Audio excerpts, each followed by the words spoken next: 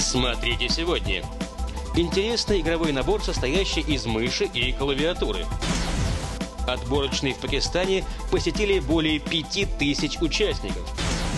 А также мы ждем вас в нашей школе киберспорта.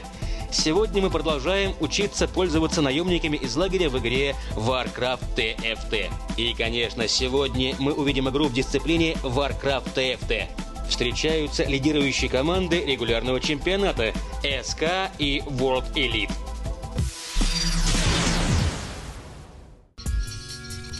Представляем обзор киберспортивных новостей со всего мира.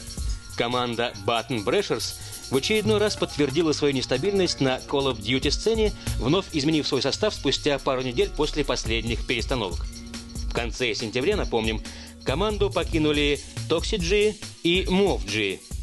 Первый решил завершить профессиональные выступления, в то время как второй перебрался в Sirius Gaming. Но, как оказалось, ненадолго. Теперь он опять в стане команды. Также в проект пришли два брата-бельгийца Стиви и Яззи. Интересный рейтинг по Dota опубликовал один из сайтов. Данные в нем основываются на том, сколько команды заработали за последние месяцы. Возглавляет этот рейтинг команда СК, имея в кармане более 13 тысяч долларов.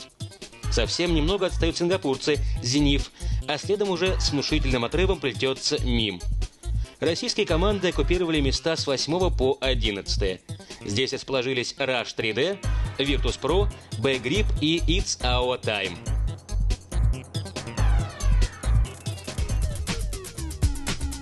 Отборочный World Cyber Games 2008 в Пакистане посетили более 5000 участников. Это стало возможным благодаря поддержке многих компаний. Все основное внимание было приковано к дисциплине Warcraft 3 The Frozen Throne. Ведь именно здесь происходили все самые интересные события, и именно здесь состоялась настоящая сенсация тура. И SM Stat сумел в суперфинале обыграть прошлогоднего победителя Рефи и прорубить себе дорогу в Кёльн на финальный этап. Недавно пришло подтверждение, что ветеран испанской сцены Дейв отправился на гранд-финал ВЦГ 2008 в Кёльн. Естественно, не в качестве туриста, а пятым игроком победителей национальных отборочных X-Sixtens. Заменит он, как несложно догадаться, единственного легионера в составе этого коллектива Васи. Правилами World Cyber Games запрещено участие иностранцев в составах национальных сборных, и хотя Васи проживает в Испании – его просьба о разрешении участвовать была отклонена.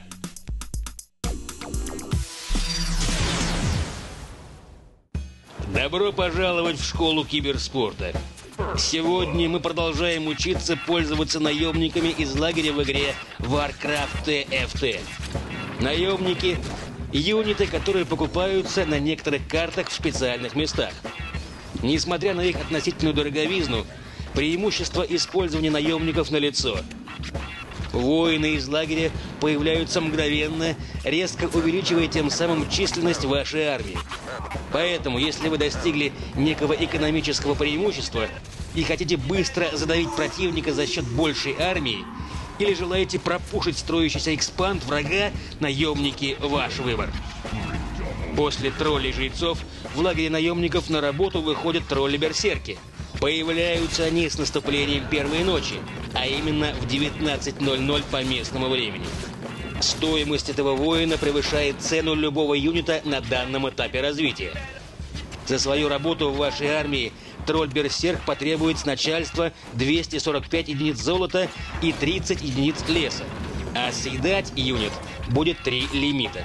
Впрочем, ваши затраты окупятся с лихвой – для начальной стадии игры воин обладает богатырским здоровьем в 450 хитпоинтов.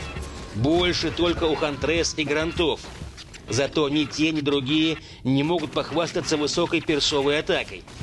Берсерк за один выстрел будет снимать с противника от 28 до 37 единиц жизни. Правда, подставлять такого воина под атаку врага не стоит. Ведь средняя броня тролля легко пробивается ближнебойными юнитами, но при должном микроконтроле убить этого наемника будет трудновато. Зато общая атака вашей армии заметно вырастет, что позволит не только эффективно пушить врага, но и быстрее крепиться, получая опыт и полезные девайсы. Мы – виртуальная школа.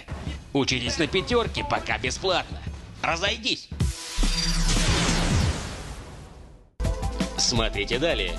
Новая система водяного охлаждения для вашего компьютера. И, конечно, сегодня мы увидим игру в дисциплине Warcraft TFT. Встречаются лидирующие команды регулярного чемпионата SK и World Elite.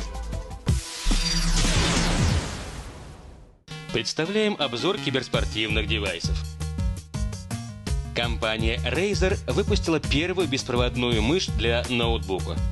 Она не то чтобы уж очень маленькая и легкая, по этим параметрам она относится скорее к среднему классу, чем к максимально портативным. Форма почти правильная полусфера со срезанными боками. Верх состоит из четырех частей, это две кнопки, пассивная площадка вокруг колеса и задняя часть, крышка батарейного отсека. Мышь не может похвастаться дополнительными кнопками и большой частотой сканирования, но это ей и ни к чему. Представляем комплект BTC 9051H Cheetah, предназначенный специально для геймеров. Главная особенность клавиатуры – 17 программируемых клавиш. Кроме того, клавиатура обладает технологией многоцветной подсветки клавиш. Изменение цвета осуществляется автоматически в зависимости от интенсивности нажатия на клавиши. Лазерная игровая мышь оснащена двумя программируемыми кнопками. Одна из них позволяет мгновенно развернуться на 180 градусов. Компания «Диалог» выпустила настольный микрофон с гибкой ножкой M108S. С помощью этого девайса вы сможете общаться с друзьями по скайпу или в компьютерных играх. Гибкая ножка позволяет удобно расположить микрофон. Длина кабеля 2 метра. Частотный диапазон от 50 Гц до 16 кГц обеспечит четкую передачу звука. Подставка крепится к столу на трех присосках. Также в нее вмонтирован груз, что обеспечивает микрофону устойчивость. Если вы заметили, что ваш компьютер стал немного перегреваться, то есть два способа исправить эту проблему. Первый – выключить компьютер и подождать, пока он остынет. А второй – установить на него водяную систему охлаждения резератор и не выключать его никогда. В комплект входит накладка на процессор, трубки и 7-килограммовый радиатор. Данная система охлаждения позволяет разгонять все виды процессоров до максимальной мощности. Сегодня вам предстоит увидеть игру в дисциплине Warcraft TFT. В рамках старейшей и одной из самых престижных мировых лиг VC3L 14 сезона встречаются лидирующие команды регулярного чемпионата SK и World Elite Pepsi, которые на данный момент входят в первую четверку. Мы посмотрим решающую третью игру поединка орка из SK под ником Violet – и представитель расы нежить WE.Pepsi Теда на карте Terenas Stand. Violet – молодой и очень перспективный корейский игрок, который после ряда впечатляющих побед над признанными авторитетами Варкрафта был приглашен в клан SK.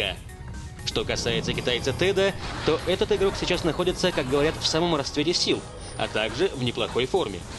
Специалисты признают его лучшим андедом Китая.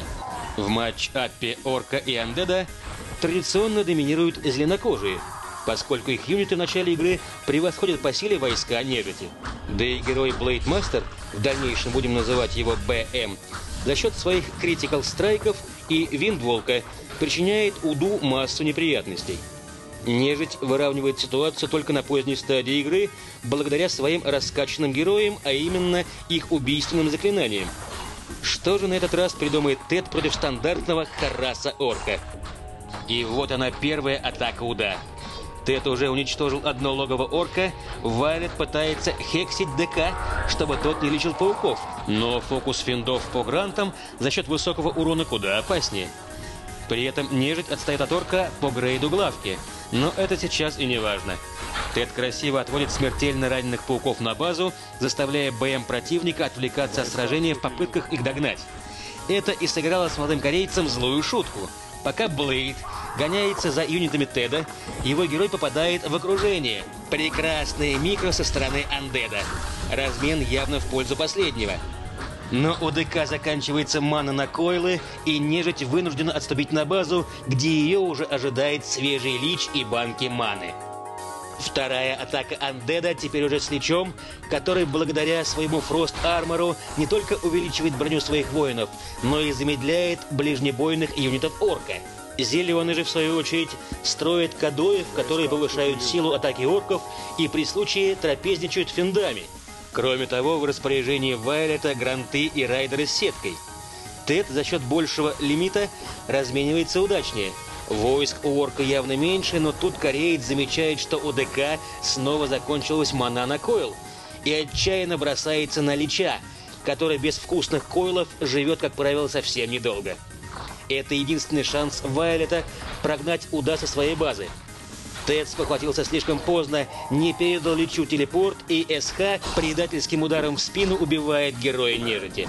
Тед вновь вынужден отступить, но надолго ли? Решающая атака Андеда, который уже сделал третий грейд главки, и у Лича появилась арба, отнимающая у каждого атакуемого им юнита целых 5 единиц брони. Третьим героем китаец выбирает Питлорда, который умеет ослаблять атаку всех зеленокожих воинов специальным заклинанием. Кроме того, позади армии Теда катаются тележки, восстанавливающие жизни у воинов и ману у героев нежити. А что же орк?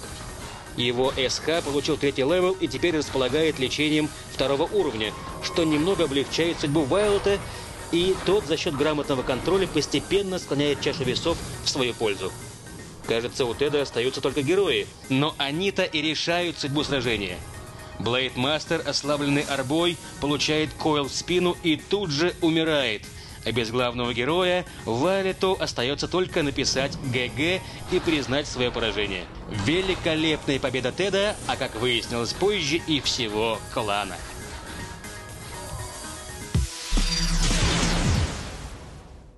Смотрите в следующий раз. Самая интересная информация из мира киберспорта. Правильные девайсы для настоящих киберспортсменов – новые уроки школы виртуального спорта и, конечно, самое интересное – новые состязания между киберспортсменами. Все это в следующий раз.